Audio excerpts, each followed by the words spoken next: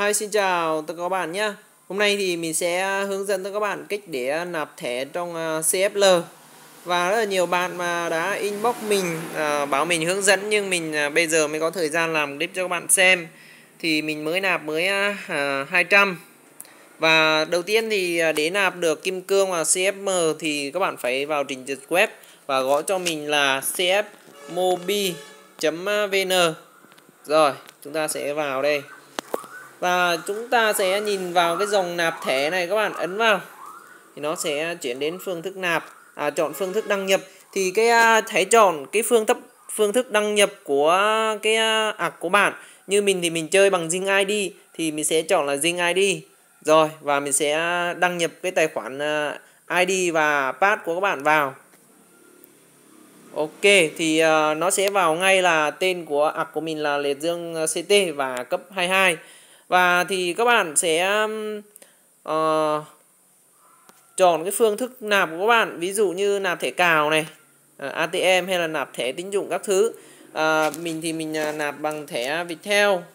Thì uh, mình sẽ ghi uh, số series của mình vào. Và cái uh, ấy chết nhầm mã thẻ và số series mình mới uh, rút ra uh, 20.000 đã nạp và làm clip cho các bạn xem rồi chúng ta sẽ ấn xác nhận. Và cứ 10.000 sẽ là 100 kim cương.